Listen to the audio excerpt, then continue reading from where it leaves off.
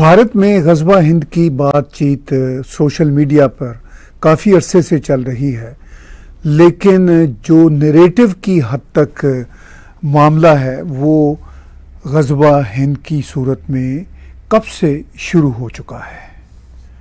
Narrative में भारत को पिछाड़ने की बात भरपूर तरीके से की जाती है। अभी हाल ही में बीजेपी की एक स्पोक्स पर्सन का एक ऐसा स्टेटमेंट था टेलीविज़न डिबेट में, जिसको नापसंद किया गया और उस पर बीजेपी की पार्टी ने उनको पार्टी से भी निकाल दिया। इसके साथ साथ एक और पार्टी के रुकन नवीन कुमार जी को भी निकाल दिया और बीजेपी ने वाज तौर पर एक स्टेटमेंट दी कि भारत की सरकार और भारत की इस वक्त की जो सियासी पार्टी है, हुक्मरान सियासी पार्टी, वो किसी धर्म के ख़िलाफ़ नहीं, किसी मजहबी शख्सियत के ख़िलाफ़ नहीं। लेकिन नरेटिव की जंग में एक बार फिर बातचीत सोशल मीडिया पर छिड़ गई और उसी नरेटिव की जंग में इतना प्रेशर कुछ अरब कंट्रीज़ के अंदर डेवलप हुआ कि उन्होंने भारत के डिप्लोमेट्स को भी बुलाया और उनके साथ एहतजाज किया। ये एक रूटीन की कार्रवाई है और दोहा में भारत के डिप्लोमेट ने वाज तौर पर कहा कि जो कुछ भारत में हुआ वो कतन भारत की सरकार की पॉलिसी नहीं ये एक quote unquote fringe elements का आ, कहना और करना था, हमने उनको हकूमती पार्टी से निकाल दिया है। लेकिन मामला इतना सादा नहीं।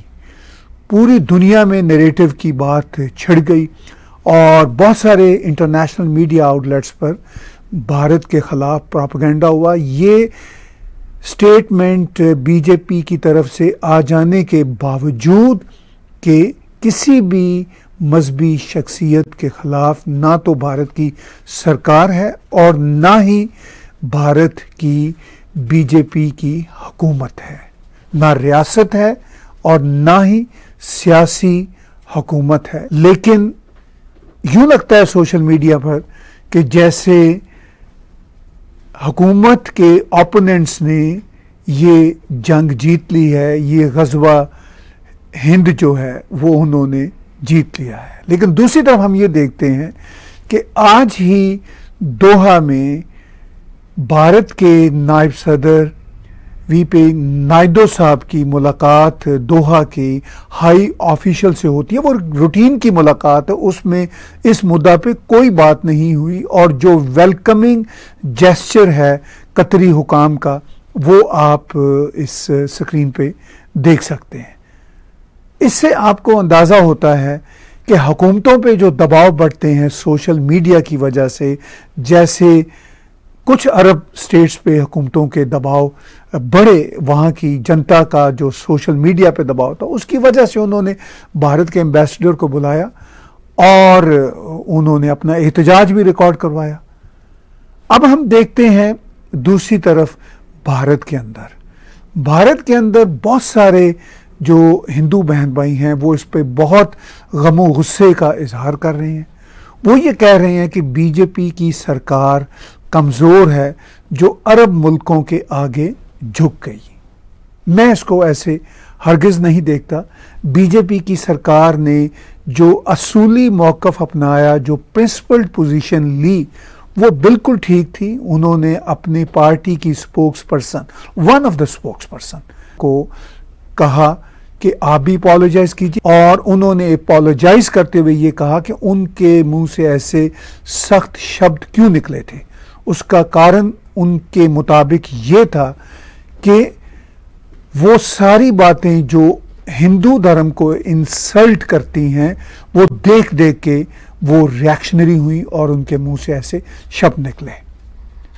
लेकिन अब भारत में बहुत सारे हिंदू बहन भाई भी इस बात पे वावेला उठा रहे हैं और उनका ये कहना है कि भारत की सरकार अरब कंट्रीज़ के आगे झुक गई। ऐसा हरगिज़ नहीं है।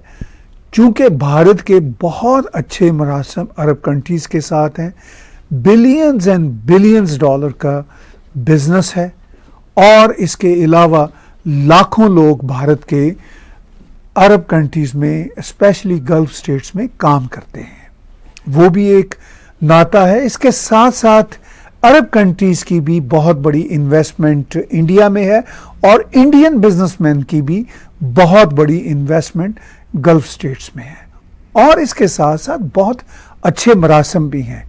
उस पर जो अवाम के रद्दमल की वजह से जो सोशल मीडिया पर रद्दमल क्रिएट हुआ, उस पर जो रिएक्शन आया, उसकी वजह से कुछ अरब सरकारों को बातचीत करना पड़ी भारत के डिप्लोमेट से। लेकिन इसके साथ साथ इंटरेस्टिंग बात यह है कि ईरान ने भी एहतजाज रिकॉर्ड करवाया। अब ईरान की जो अपनी पोजीशन है, वो ह्यूमन राइट्स की बहुत शदीद वायलेशंस हैं। और अगर हम डेमोक्रेसी के पैरामीटर्स पर देखें तो अरब कंट्रीज़ में भी ह्यूमन राइट्स के इश्यूज़ तो रहते हैं। लेकिन भारत उनके इंटरनल मामला में कोई इंटरफेयर नहीं करता। लेकिन शायद गल्फ स्टेट्स के लिए अवाम के दबाव की वजह से पब्लिक कंजम्पशन की खातर ज़रूरी हो गया था कि वो भारत के डिप्लोमेट्स को बुलाएँ और उनके साथ अपना एहतजाज रिकॉर्ड करवाएँ। अब उस एहतजाज पर भारत के अंदर जो रिएक्शन है कि बीजेपी की सरकार कमज़ोर हो गई।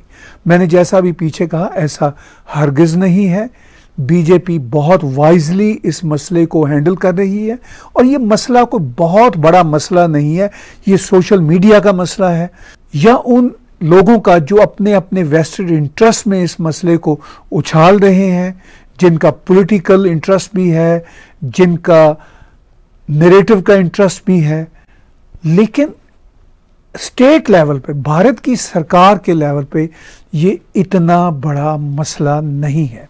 इसके साथ साथ हम ये देखते हैं कि भारत की मुस्लिम कम्युनिटी के प्रोग्रेसिव एक्टिविस्ट सैकड़ों की तादाद में सोशल मीडिया पे आ गए और उन्होंने भारत की सरकार का डिफेंड किया और उनका ये कहना था कि जितना ज़्यादा विरोध किया जा रहा है भारत के खिलाफ, उन लोगों के अपने वेस्टेड इंटरेस्ट हैं। नमस्कार साथियों आज जो भारतीय जनता पार्टी ने एक स्ट्रॉन्ग डिसीज़न लिया है, वो पार्टी का इंटरनल मैटर है। पार्टी के डिसिप्लिन कमेटी का इंटरनल मैटर है। पूरे सोशल मीडिया पर मैं मानती हूँ इस डिसीज़न से हड़कंप ज़रूर मचा हुआ है, पर फिर भी ये पार्टी डिसाइड करेगी कि क्या सही है और क्या गलत है। अब सवाल ये उठता है कि इंटरनेशनल प्लेटफॉर्म पर हिंदुस्तान की सरकार को और हिंदुस्तान की जनता को बदनाम करने वाला ये था कौन और है कौन? जो मुस्लिम प्रोग्रेसिव एक्टिविस्ट हैं भारत में, उनकी तरफ़ से भी उनका पॉइंट ऑफ़ व्यू आ रहा है और इसके साथ साथ भारत की सरकार भी इस मसले को बहुत वाइजली हैंडल कर रही है।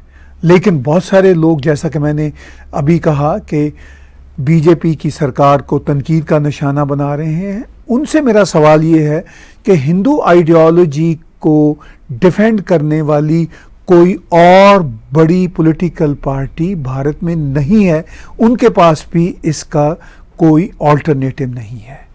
अब सवाल ये पैदा होता है कि भारत में इस तरह की डिबेट्स या इस तरह के इश्यूज़ क्यों सामने आते हैं?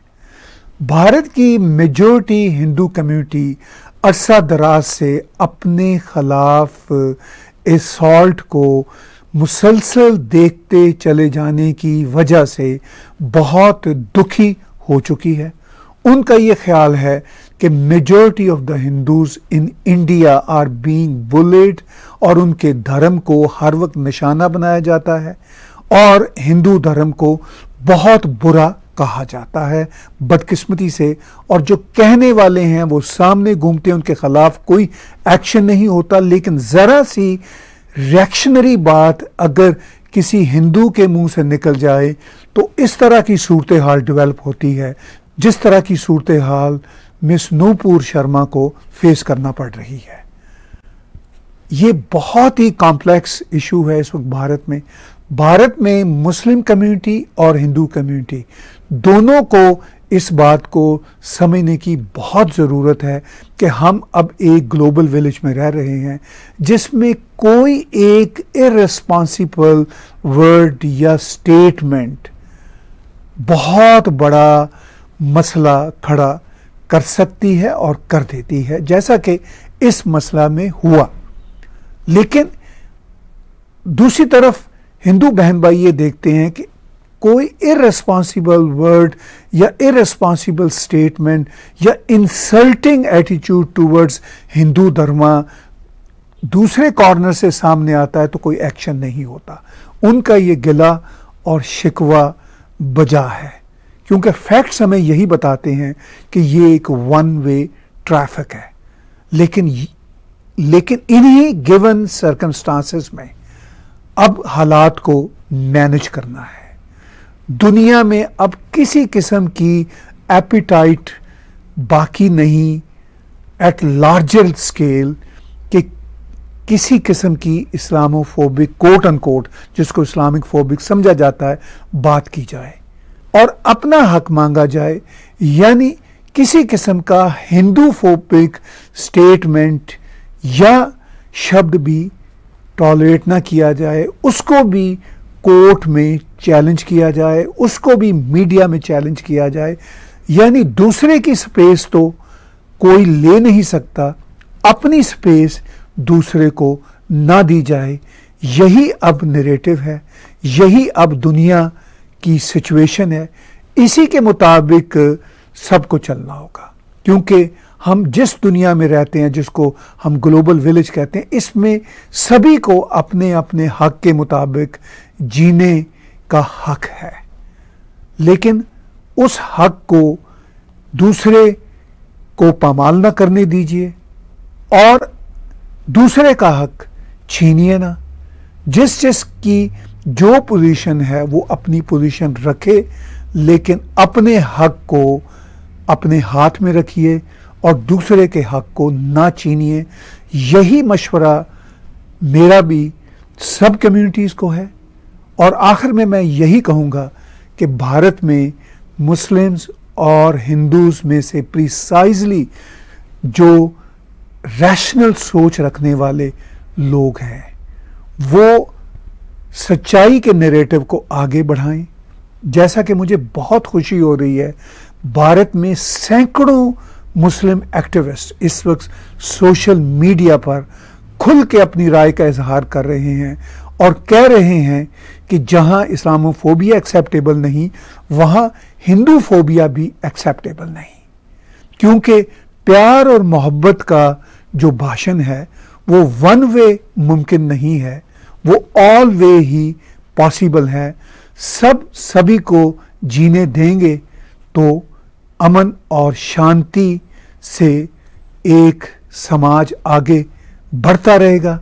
लेकिन अगर वन वे ट्रैफ़िक रखने की कोशिश की गई कि सिर्फ़ मेरा तो अधिकार है, दूसरे के गॉड्स दूसरे के धर्म के बारे हम इंसल्ट करते रहें, ये हमारा अधिकार नहीं।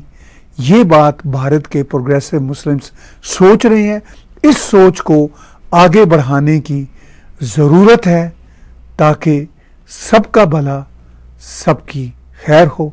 मेरा आज का मुख्तसर मोनोलॉग देखने और सुनने का बहुत शुक्रिया।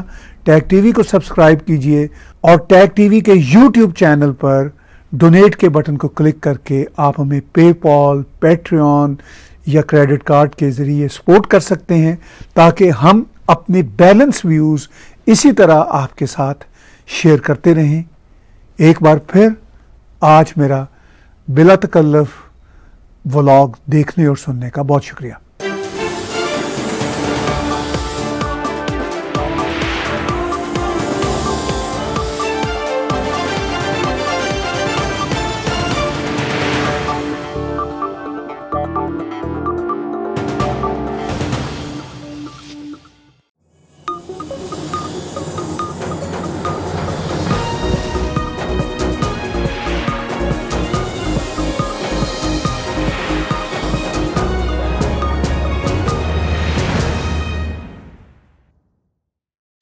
Subscribe Tag TV YouTube channel and press the notification button.